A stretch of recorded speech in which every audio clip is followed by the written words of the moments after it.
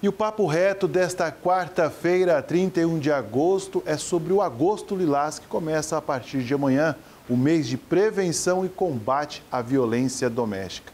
Sobre este assunto, eu recebo aqui em nossos estúdios a delegada titular da DAN, a Delegacia de Atendimento à Mulher, Letícia Mobes. Primeiramente, obrigado por ter aceito o nosso convite. Delegada, o objetivo deste, dessa promoção do Agosto Lilás, o que é? É, dar visibilidade aos casos de violência doméstica, fazer conscientização é, sobre os direitos das mulheres, é, trazer esse, esse assunto à pauta, tanto no quesito prevenção quanto no quesito repreensão. O cenário aqui em Três Lagoas, infelizmente, é muito triste. A gente tem acompanhado um aumento de violências. Tem uma explicação, delegado? É, infelizmente, esse número é, sempre se mantém alto, né? É, a gente tem um registro mais ou menos de 1.300 casos todo ano é, e a gente, infelizmente, pensa que esse número é ainda maior, né? Tem muitas mulheres que não denunciam, que só nos procuram depois que já sofreram vários episódios de violência. A explicação tem vários fatores, né? É, mas o, o fator preponderante é aquela situação do machismo, onde o homem acha que pode impor a sua vontade é, através do uso da força, da ameaça, da violência. Muitas vezes, quando termina um relacionamento, ele não se conforma e isso acaba gerando a ocorrência da violência doméstica.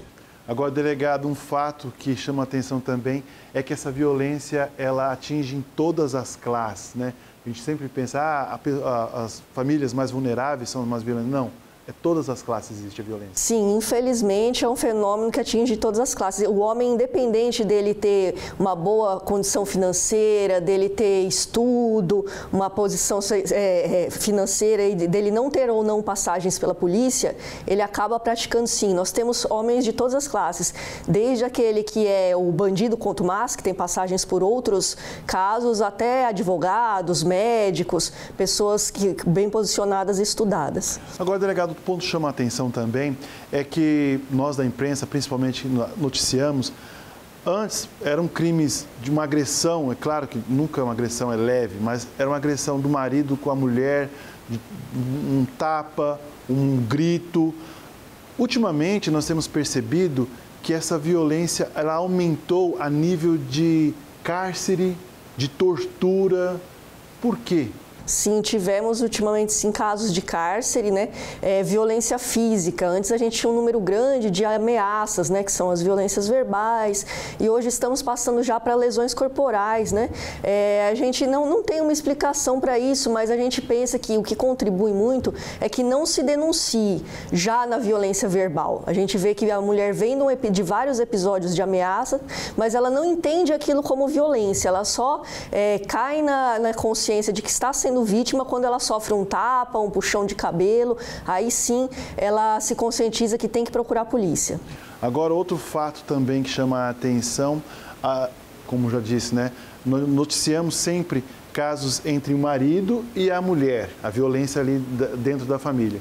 O que nós temos presenciado também agora é o filho contra a mãe e sempre a drogas. Sim, o fator droga, né? Aquele filho que é usuário e que exige da família que dê dinheiro para comprar drogas. Temos muitos casos nesse sentido. É importante dizer que isso também cai na Lei Maria da Penha.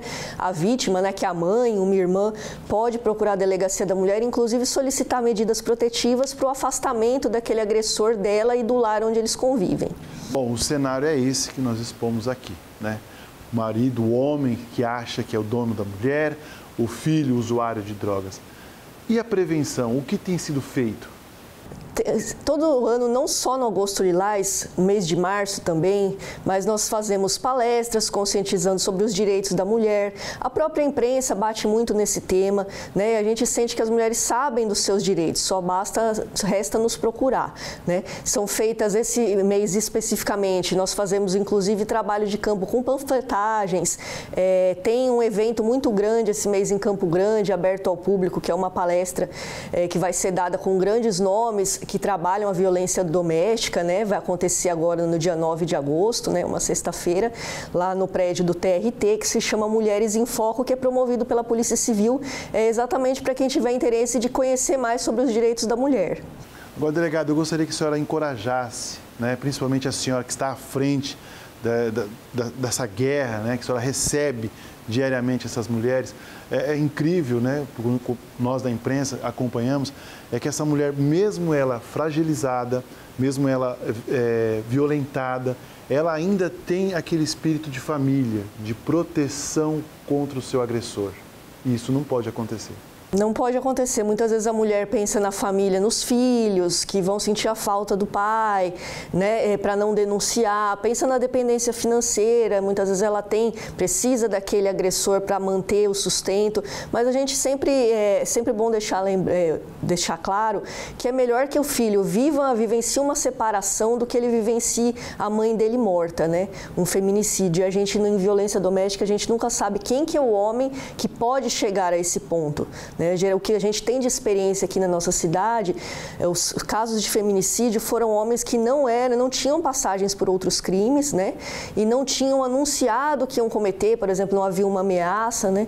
Então, para a mulher estar sempre consciente, repensar o relacionamento onde ela está, se vale a pena manter e não se calar diante das violências, mesmo que seja uma, uma um xingamento, uma ameaça, já tomar uma atitude para que aquilo não evolua e chegue no feminicídio. E no caso da mãe, que tem o seu filho como agressor, também o mesmo procedimento. Também não ter dó, né? Geralmente a gente tem muitas é, mães que denunciam e depois tentam retirar, é, se arrepende, retirar né, o BO, como elas falam.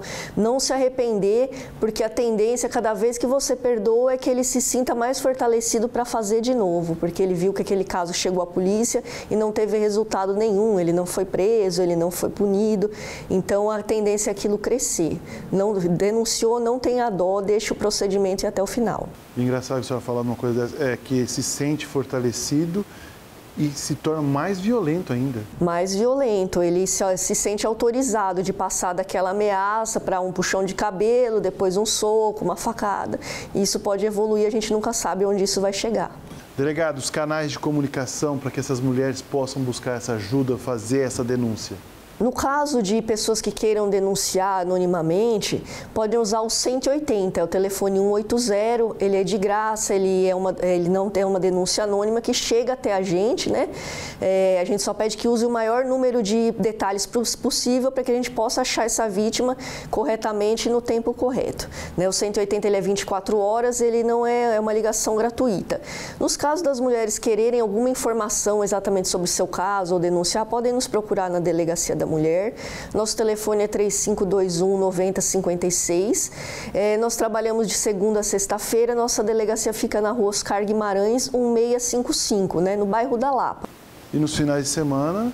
Na delegacia de plantão, né, a DEPAC, ela fica ali no Jardim Aeroporto, perto da, do, da onde é a prefeitura. E até mesmo o 190 da Polícia Militar. Sim, o 90 é importante dizer. No caso de estar ocorrendo uma violência que você queira denunciar naquele momento, é 190, o telefone da Polícia Militar. O 180 não é um telefone de emergência. Você ligando lá, não vai ser registrado o BO e não vai uma viatura até aquela casa, porque ele é repassado depois, é uma central lá de Brasília, que manda alguns dias depois para a gente. Havendo uma emergência, necessidade de uma intervenção policial imediata, diz que Polícia Militar 190. Para a gente finalizar a nossa conversa, para esse mês de agosto, o que, que tá, já está sendo projetado e organizado para acontecer aqui em Três Lagoas? É, temos um dia D, né, onde vamos dar ênfase na, no cumprimento de mandados de prisão, mandados de busca, né? Não, é, não vamos divulgar, vamos ter esse trabalho de palestras e conscientização, panfletagem. Tá, tem programado vários, vários eventos aí para esse mês. Tá certo, delegada. Obrigado aí por ter conversado conosco. E vale lembrar para você, mulher, que denuncie, procure ajuda, procure a DAM, procure os canais que você possa se sentir confortável para denunciar.